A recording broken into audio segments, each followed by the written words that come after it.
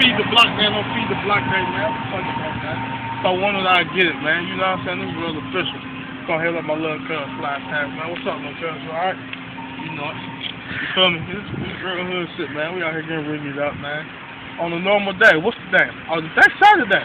Matter of fact, I forgot all about it, man. This time for the camera, though, I'm waiting on this, man. A couple pieces flying through, man. Listen, though, man.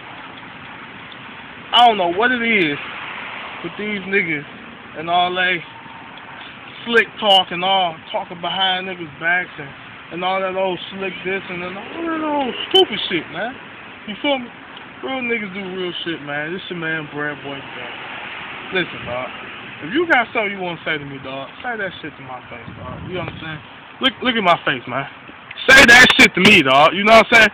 Don't go behind your man's back or my man's back talking that bullshit when I ain't around, dog. You know what I'm saying? I'm